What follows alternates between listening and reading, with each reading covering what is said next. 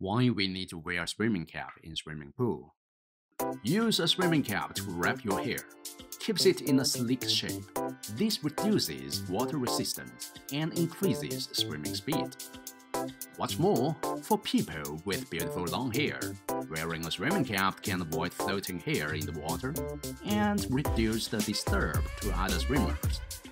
Believe me, you may look nice in the wind with long hair, but not in the pool. Finally, most of the swimming caps are colorful. It is convenient for lifeguard to find out if there is an accident happens, so it is necessary to wear a swimming cap. Mmm, safety matters most.